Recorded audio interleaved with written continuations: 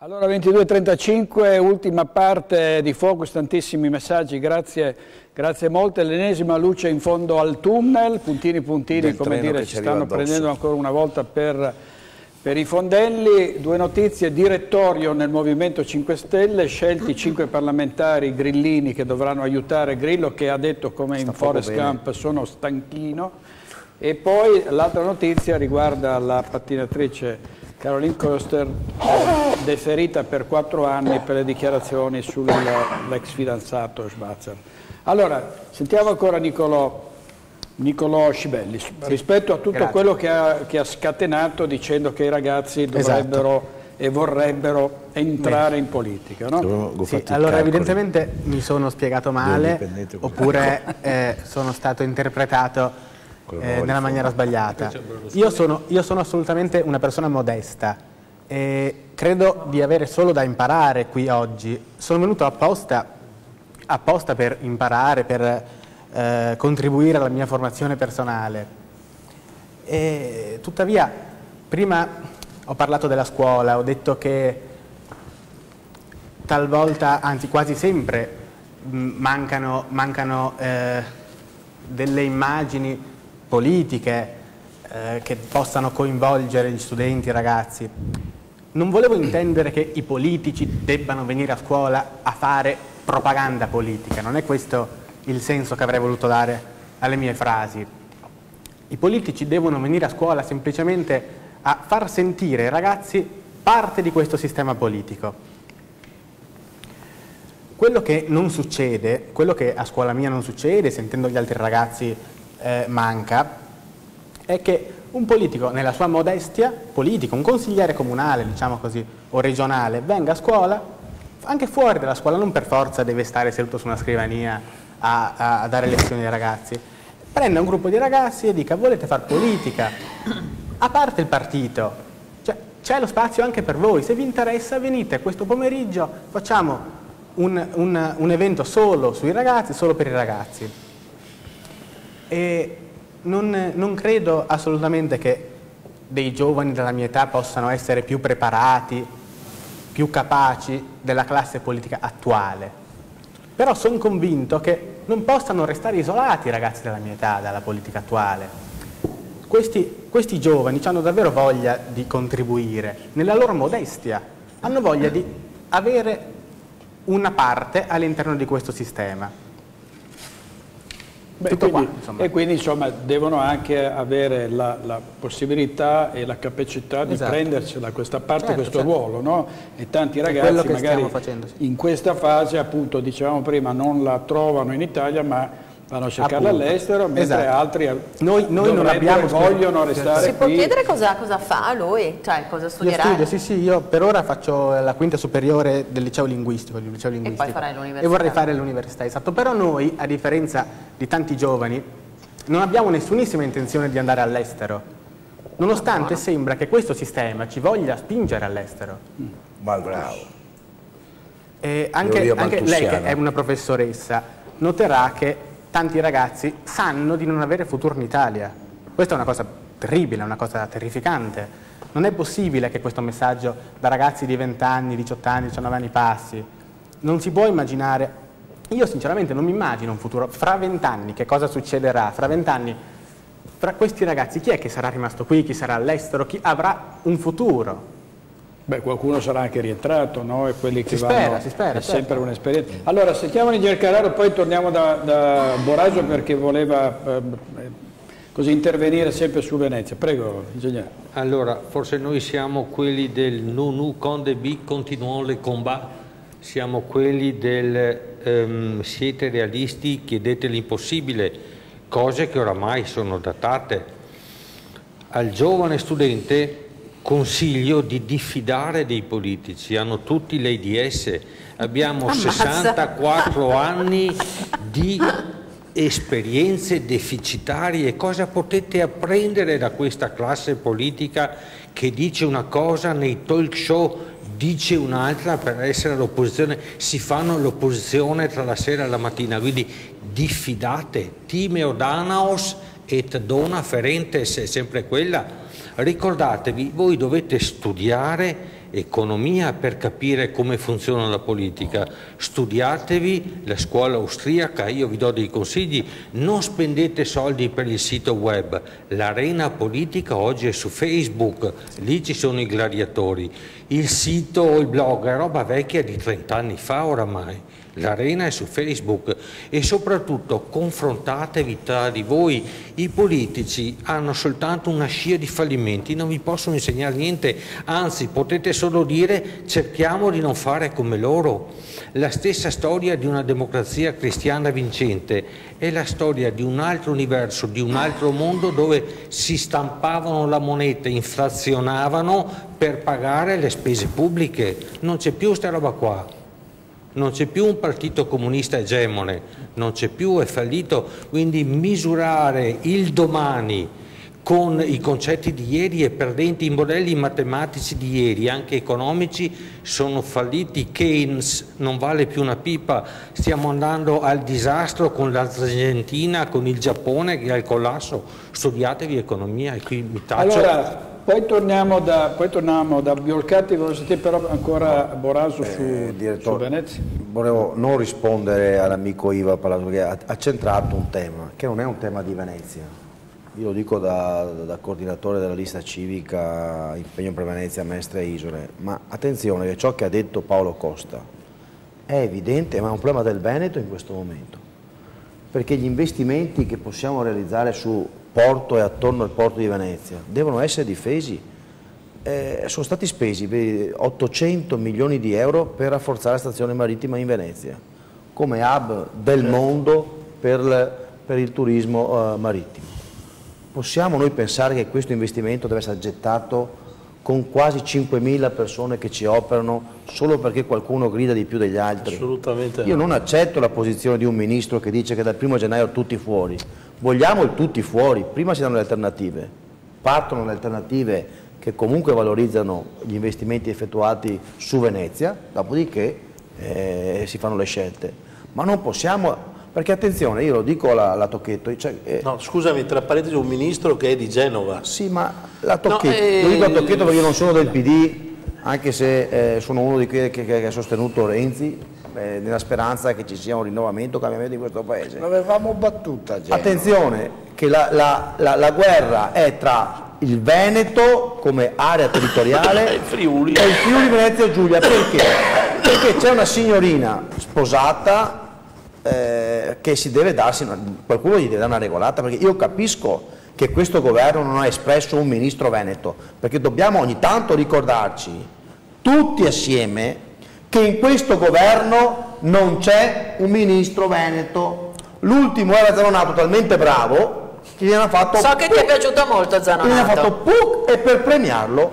È andato in Europa è andato in Europa, era talmente bravo che non avevamo bisogno di un ministro veneto e l'hanno mandato in liquidazione. Ce n'è uno Ora, con un nome veneto. Abbiamo due sottosegretari, eh. tra l'altro anche di, di, area veneziana, Zanetti e, uno, Zanetti e Baretta, Baretta, che non probabilmente non esprimono un colpo su questa vicenda, mentre la Serracchiani, e qui bisogna che una regolata la signorina, perché non può pensare di fare il vice segretario del reale del partito pensando solo a Trieste e ai suoi interessi di bottega. Mm. Non può togliere 100 milioni Ma di euro. Ma per quello avremo la Moretti che difenderà il territorio. Ha ragione Palasco, ha tentato di togliere 100 milioni di investimenti dalla città che ha il, eh, la, la, più alto tasso di disoccupazione del Veneto per spostarmi a, a, a Trieste. Ma io mi aspettavo ora, che tu dicessi ora, che togliesse invece l'autonomia che ha la, la regione ora, a statuto speciale. Io su questo ti verrei pure dietro contro la Sierra certo, ma no, no. Eh, sai il problema è, è difficile. No, no, non sta facendo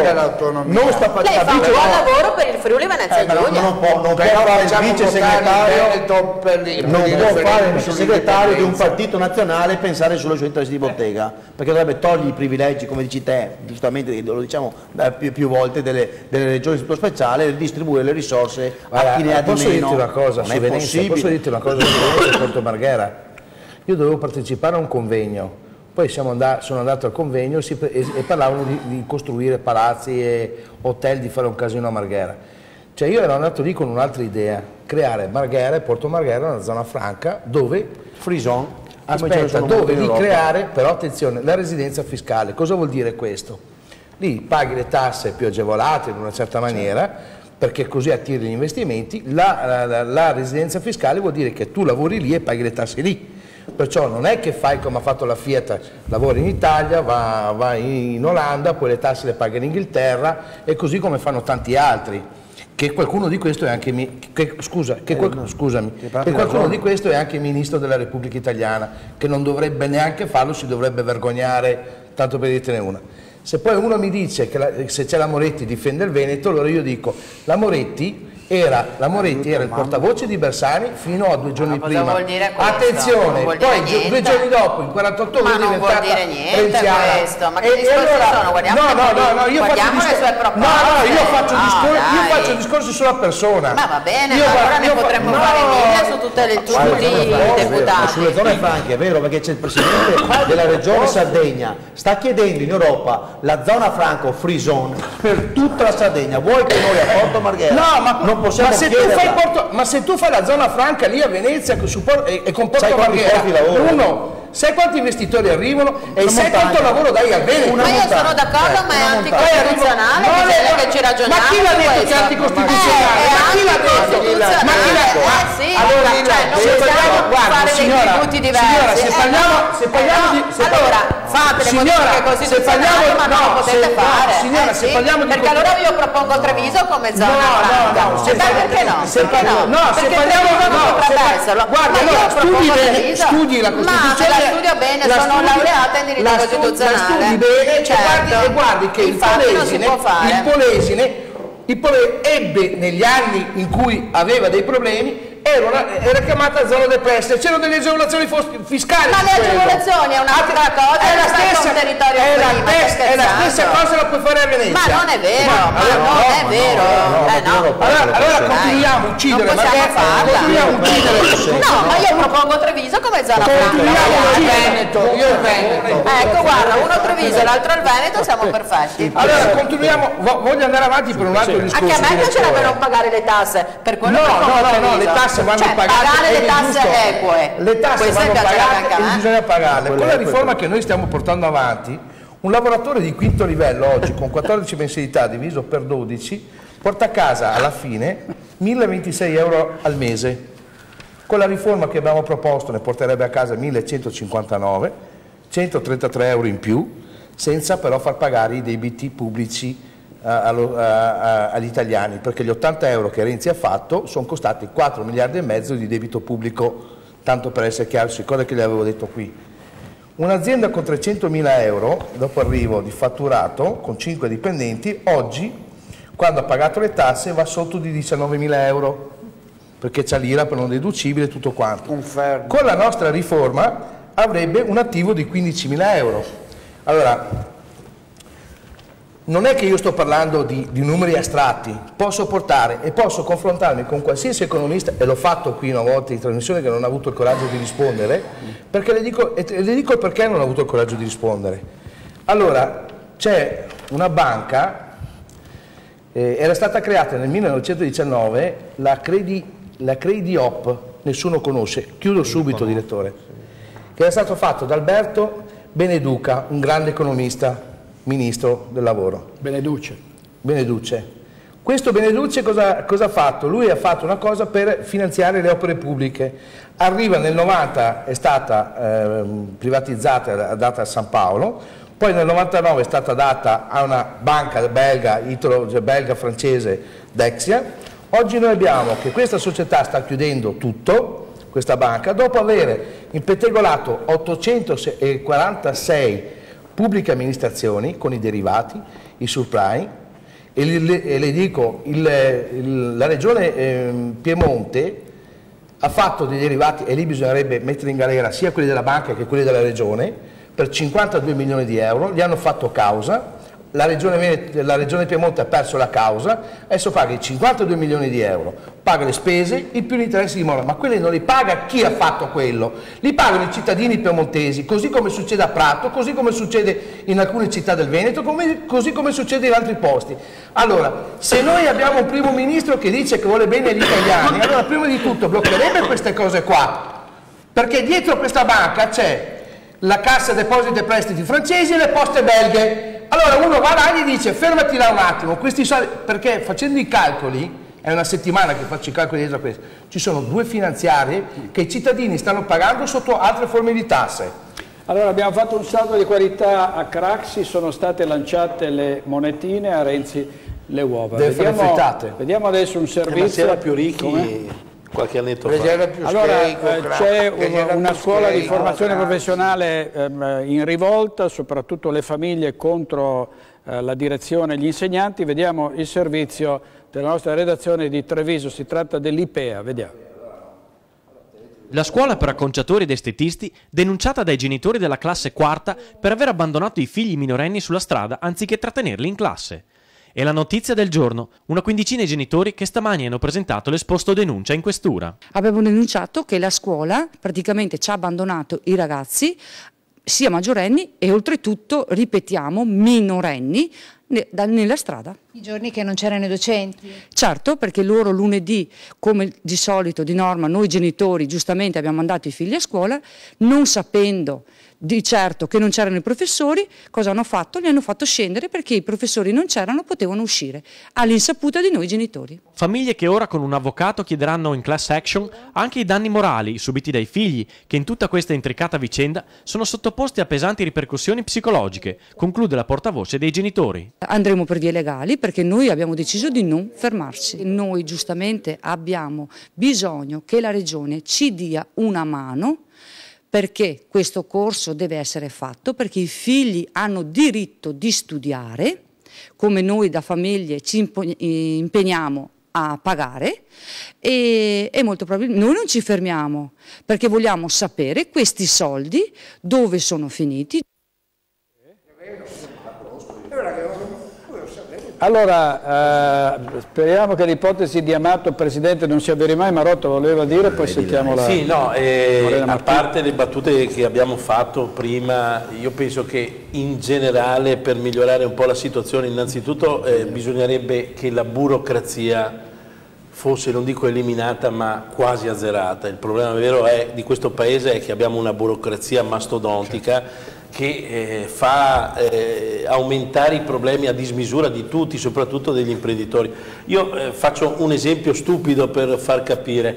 Eh, per chiedere un codice fiscale uno può anche telefonare, no? può fare la domanda e tutto, fa la domanda, ma per fare la domanda deve compilare un modulo e va benissimo, e nel modulo deve mettere il codice dell'associazione, dell cos'è, se è un'associazione non riconosciuta, riconosciuta eccetera.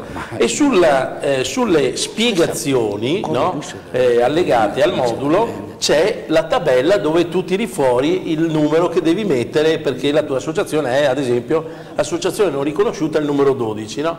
poi c'è da mettere il codice attività il codice attività fai un'altra tabella metti un'altra tabella eh no, è troppo difficile mettere la tabella lì. Uno deve diventare deficiente, andare sul sito del www, agenzia entrate, quello che è, andare dentro alla tabella e vedere se riesce a beccare la voce giusta. Io mi domando come è possibile che andiamo avanti così, uno che deve domandare un codice fiscale magari per aprire o una partita IVA per, per cominciare sì, a lavorare.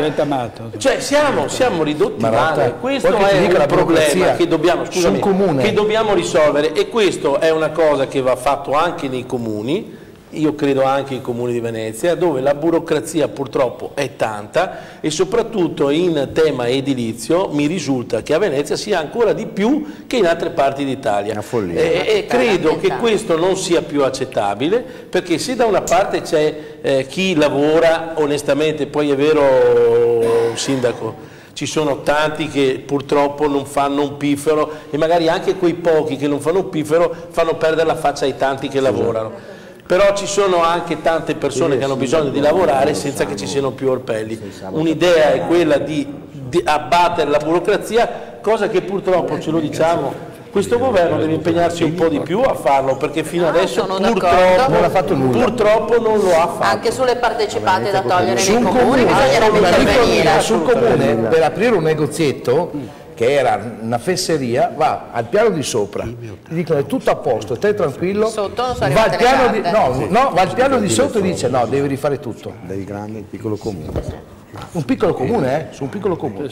Allora, vediamo, eh, da Padova abbiamo un servizio sull'emergenza a casa, avevamo altri servizi, purtroppo un bambino di 12 anni oggi si è lanciato dal terzo piano della sua scuola, non è eh, in pericolo di vita, aveva preso un rimprovero eh, molto pare forte perché aveva falsificato la firma dei genitori. Se avessimo tempo chiederei a Morena Martini in questi casi se insomma, ci, sono, ci, sono, modi e, modi per intervenire, per sanzionare, per, per eh, eh, punire un ragazzino di 12 anni, non sappiamo com'è andata, ma insomma è salito sul banco e si è buttato dalla, dalla finestra per la vergogna. Vediamo però eh, questo servizio da Padova invece sull'emergenza abitativa perché eh, il titolo è questo, l'ennesima luce in fondo al tunnel e sì, campa cavallo che l'erba cresce. Vediamo, vediamo un attimo. L'ultimo episodio di tensione in ordine di tempo è lo sfratto di una coppia di origini marocchine a Villafranca Padovana. A ostacolare le operazioni 25 attivisti dello sportello antisfratto che si sono frapposti alle forze dell'ordine. L'emergenza a casa è un problema concreto. In città e in provincia sono molte le persone che non possono più permettersi di pagare un affitto. L'emorragia non sembra destinata a fermarsi in tempi rapidi. Da un dato che abbiamo recepito proprio dal comune di Padova, negli ultimi quattro anni, se nel 2010, se non ricordo male, avevano 16 eh, sfratti, nel 2014 eh, credo che abbiano avuto 216 segnalazioni, per dire come eh, il numero di, di, di segnalazioni di sfratti sono notevolmente aumentate. La Caritas in questi mesi ha affrontato i casi più problematici con soluzioni temporanee, ospitando le persone nelle parrocchie. Noi riusciamo in questo momento ad accogliere grazie ad alcune parrocchie che hanno messo a disposizione degli spazi, eh, alcune, alcune persone anche se sono numeri piccoli, 16 persone presso proprio le parrocchie, dando la possibilità a persone che hanno perso la casa di, di, essere accompagnate e sostenute. La Caritas sta usando anche il fondo straordinario di solidarietà. Noi non abbiamo una soluzione a questo problema, eh, certo che eh, per quello che è nelle nostre possibilità lavoriamo affinché le persone attraverso il fondo straordinario di solidarietà possono avere un, un, lavoro temporaneo in modo da non cadere nella, nella questione dello sfratto. Intervista di Lorenzo Munegato. Antonello Tocchetto, allora si vota domenica per le primarie dalle 8 alle 20, però dove? No? La gente dice allora, dove devo andare? Ci sono, andare. per esempio, per quello che riguarda Treviso ci sono 5 punti, ci saranno dei banchetti nelle piazze e poi ci sarà la sede del partito dove si andrà a votare. Però eh, nei, nel sito del PD regionale e quindi anche locale potete trovare tutti i posti dove, si, dove sono stati allestiti i seggi, che ovviamente, sperando anche che sia una bella giornata, giornata no, li piove. faremo anche molti all'aperto. In ogni caso ci auguriamo che venga anche tanta gente perché è un momento diciamo così di democrazia che eh, è molto interessante e comunque insomma dentro la serata poi ci sarà lo scrutinio e sapremo anche chi inizierà a correre contro Zaia e contro quindi l'avversario. Quindi potete vedere, andate tanti a votare ma lo vedete nei vari siti delle varie eh, città o paesi al quale appartenete, però molti saranno insomma nella e si pagherà ovviamente 2 euro, però facciamo votare anche chi dice che non pagherà perché non ha i soldi. Ma allora Morena votare la Martini costa sempre 2 euro? Costa Morena. La Martini? No, no, la Possono votare Morena. anche la Martini. Ci, ci sarebbe, Morena. ci sarebbe no, neanche storia se fossi candidata io. Vincerebbe 10 cioè, a 0. Si ritirerebbe Giusto, bravo, ma con sì. l'astensionismo che si è visto in Emilia Romagna e in Calabria lei pensa che i veneti andranno a votare? No, no, uh, forse, pensa, forse eh. il discorso delle primarie è un discorso diverso e con l'analisi del voto che è stata fatta probabilmente il centro-sinistra ma non, non raggiungeremo eh. più i voti, le percentuali che, storiche che abbiamo fatto a mio parere, assolutamente no. Invece sul discorso di, del disagio scolastico e nel rimprovero eh, ci sono sì modi e modi, io dico sempre che, e lo dico ai genitori, lo dico anche ai colleghi, mh, possiamo fare tutto ma non umiliare un ragazzo. Un ragazzo non va mai, mai, mai umiliato perché lo sbaglio, la, la prepotenza, eccetera, anche l'atteggiamento negativo, anche la maleducazione, dobbiamo sempre pensare che viene da un ragazzo, viene da, da uno che è, che è minore, possiamo eh, dire ad uno studente che è maleducato, che ci ha mancato di rispetto, che ha fatto una marachella senza umiliarlo e sta lì alla, alla bravura dell'insegnante che in quel momento diventa educatore, è proprio quella, è proprio quella. Poi ci sono delle fragilità tremende ecco, sono, tanti eh, nella scuola, molto fragili, delle fragilità eh, tremende. molto più fragili di, sì, molte, di una volta. Ingegnere, l'immonda bestia? L'immonda bestia è viva e vegeta. È viva e vegeta. E certo, e fa pressione continua sulle tasche degli italiani. Ricordatevi che ogni giorno che, eh, che, passa voi pagherete sempre più tasse fino a quando andremo allo schianto. L'esempio tipico sui carburanti è chiaro che non possono diminuire perché quando il petrolio era a 110 l'incidenza delle accise è 60 è sceso a 79 ma a questo punto l'incidenza delle accise sarà il 75% eh sì, proprio certo. perché non, non, mutano. Quindi noi eh, siamo in balia eh, di, di, una banda di governativi che scendono in piazza pistole alla tempia dell'automobilista e lo spremono ma dopo ci sarà bollo, ci sarà auto, ci sarà la tv. Io ripeto, non è un problema di canone, è un problema che ci hanno rubato il voto, si chiama golpe, questo si chiama colpo di Stato perché l'Italia ha votato a maggioranza contro il servizio pubblico. Non voglio sentire parlare di servizio pubblico perché sennò meno la gente, ci hanno rubato il voto. Allora, Presidente, poi dobbiamo chiudere un po'. Sì, sì. Eh, io so quando, due cose volevo, la prima, io so quando eh, la percentuale di votanti in Veneto schizzerà i massimi storici. Alle regionali? No, no. quando andremo a votare per l'indipendenza. Nel 2029. Anche 2059. no, no, nel 2029 dai calcoli. No, anche nel 2059, ma quando ma voteremo... Io, eh? qua, ma certo, vedi, ora, schizzerai mai. Però negli altri stati non è stato così, è dove l'hanno fatto, anche in Catalogna, quindi starai un po' attenta su Bene, non me ne frega nulla della Catalogna, io eh no. sono Veneto e, e anche in Gran Bretagna la Scozia non è andata così. Sono in Veneto, voterò in Veneto. Eh, no. Seconda cosa, seconda cosa, qualcuno prima, non mi ricordo chi, forse Boraso, ha detto adesso che la chiamano legge di stabilità, eh, lei, lei ecco, bravo. Allora, eh, Boraso, dobbiamo ricordarci che l'orrenda bestia, l'immonda e orrenda bestia, assume le più svariate forme per sbranare gli inermi cittadini.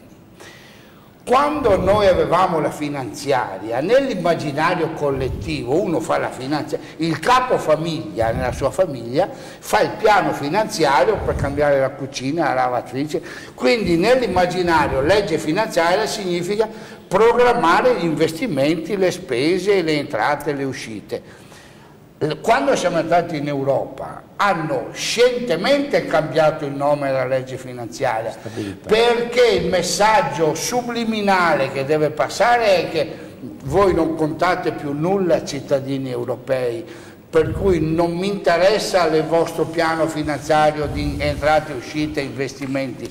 Voi dovete vivere, soffrire, farvi spremere per assicurare stabilità alle grandi multinazionali finanziarie. Ecco perché hanno cambiato il nome da finanziaria a legge di stabilità. Presidente, Questa è, è come sta banca l'immonda bestia cancerogena Comune di Prato. Beh, riconosce però Ivan che comunque Renzi è andato in Europa e gli ha detto alla Merkel, beh stai calmina che noi non rispettiamo le tue regole. Quindi, ancora ti so chi la ricoverai l'ospedale Antonella senti senti Antonella senti Antonella io ti voglio bene perché ti conosco da sempre ti conosco da sempre. pensa che militavamo insieme. Esatto ti voglio ma credimi Renzi sta facendo danni Renzi sta facendo danni a questo paese che ci vorranno 50 anni per ripararli va bene. Come allora, scusate 2304 si scoprono anche gli altarini qui a, a Focus, non sapevamo, vecchi amori direttore. Non sapevamo nelle barricate, non nel 68 no, no, Antonella, Antonella Tocchetto non c'era. Sì, vabbè, insomma. Eh, allora, grazie a tutti, veramente si chiude una settimana complicata, ma non è finita perché appunto ci sono e poi torneremo a parlarne ovviamente già lunedì, martedì, la prossima settimana, quindi state ancora con noi anche stasera stantissimi tantissimi sms abbiamo no, no, no, non possiamo vabbè non possiamo fare eh, propaganda. Allora scusate eh, ringrazio Niccolò Scibelli perché speriamo che dopo di lui vengano tanti giovani. Questa è una tribuna aperta. Chi vuole venire parlo ai ragazzi venga chieda come ha fatto lui ci telefoniamo ci sentiamo. Venite in studio e raccontate le vostre storie. Grazie a tutti buonanotte grazie ai nostri ospiti e a voi. Grazie arrivederci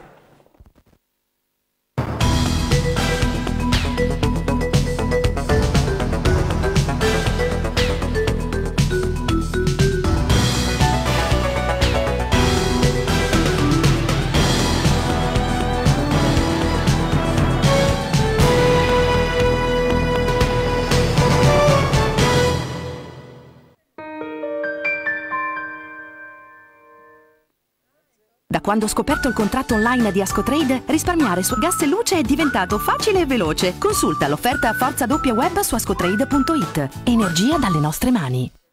MT Camini a Giavera del Montello. Canne fumarie certificate con soluzioni su misura. MT Camini. Nessun fumo negli occhi.